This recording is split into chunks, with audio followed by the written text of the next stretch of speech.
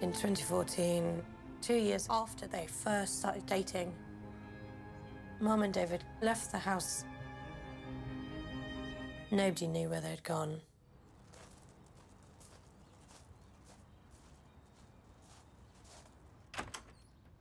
When Sandra left, I didn't think that that would be the last time that me or my children would see her.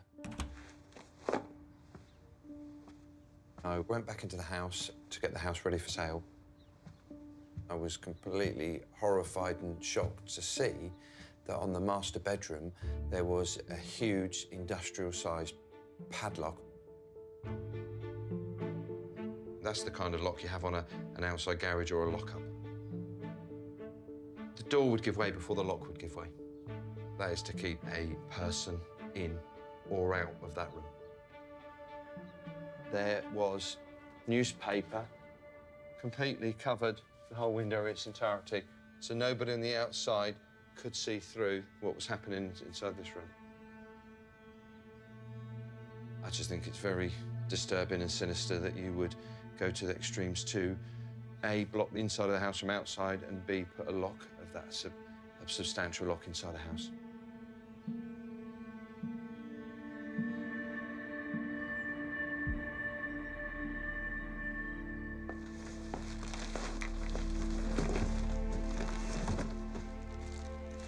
I was surprised of the, the mail that was at the house.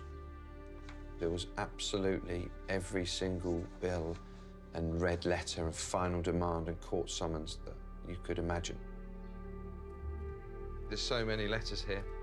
Bills from the electricity company, from the phone company, from the local borough council.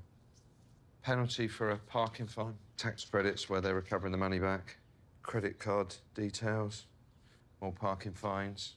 Here's one about the mortgage company. So the mortgage hadn't been paid for many, many months. Wow. Sandra didn't have an overdraft or a credit card before she knew him. So this sad state of financial affairs, in my opinion, has all been brought on by David. The car that your mum and David have been driving, finance on the car, not paid. You're talking about a £35,000 car. It was top of the line.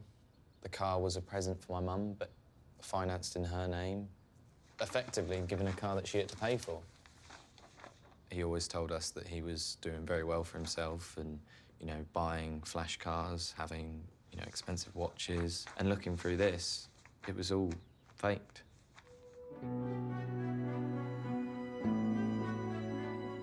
My mum was an only child.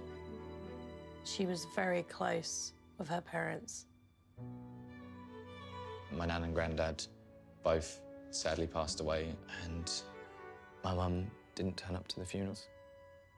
It was so out of character, but deep down I knew she wasn't gonna come.